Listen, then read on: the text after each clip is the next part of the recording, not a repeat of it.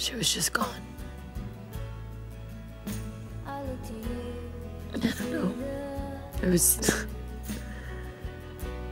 it's like she was on. She was in her own planet or something. She just didn't even notice what was around her. She just was so free. She just did that. Car came out of nowhere.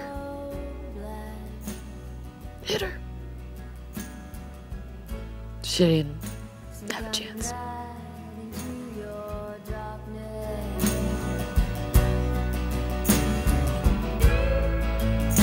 Close your eyes.